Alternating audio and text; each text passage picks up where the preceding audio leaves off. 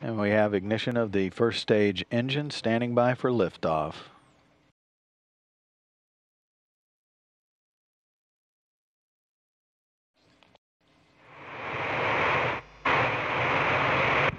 And we have liftoff of the Soyuz rocket, uh, delivering a Progress vehicle, the 54th Progress vehicle to the International Space Station, the 148th launch in support of ISS assembly and operations.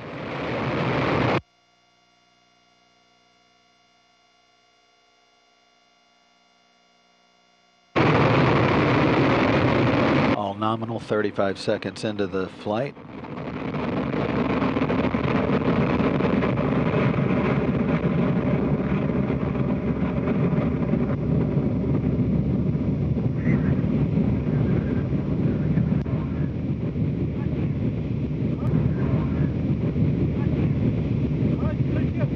And approaching one minute. That's the point where the vehicle begins to pass through the area of maximum dynamic pressure, traveling 1100 miles per hour.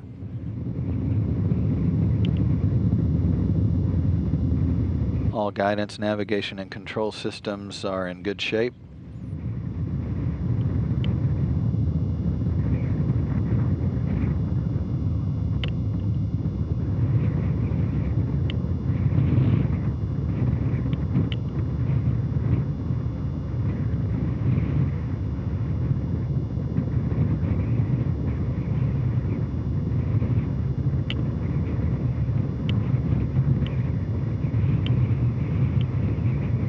One minute 45 seconds standing by for uh, burnout and jettison of the four strap-on boosters of the first stage.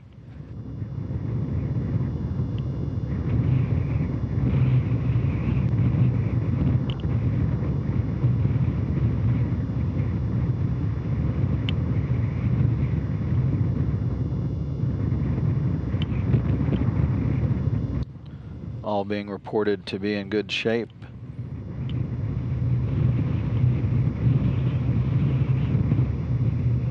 Standing by for confirmation of shroud jettison.